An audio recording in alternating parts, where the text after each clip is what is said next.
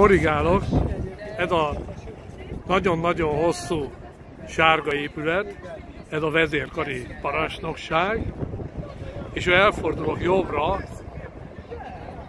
ott az a csúcsos, hegyes tetejű épület a fák mögött az a admiralitás épülete.